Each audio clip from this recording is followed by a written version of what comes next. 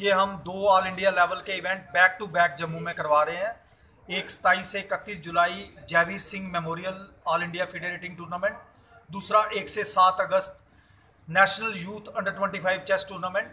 और ये हम 12 टूर्नामेंट जे एंड के में ऑलरेडी करवा चुके हैं ऑल इंडिया लेवल के। ये हमारा तेरहवें और चौदहवें नंबर का इवेंट है और हमारी कोशिश है कि जे के के यूथ को लोकल लेवल पे बड़े से बड़ा प्लेटफॉर्म दिया जाए, जिससे नेशनल इंटरनेशनल लेवल के प्लेयर निकलें।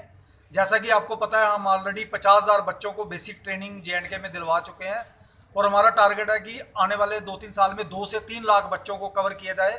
ताकि बच्चे नेगेटिविटी से हटें ड्रग से हटें पॉजिटिव डायरेक्शन में जाएँ और हमारी स्टेट खुशहाली की तरफ़ बढ़े। और रशियन पैटर्न पे हम जे एंड के यूथ को प्लेटफॉर्म देने का प्लान कर रहे हैं, जिससे यहाँ बड़े से बड़े हम चेस फेस्टिवल आने वाले टाइम में ऑर्गेनाइज करने वाले हैं।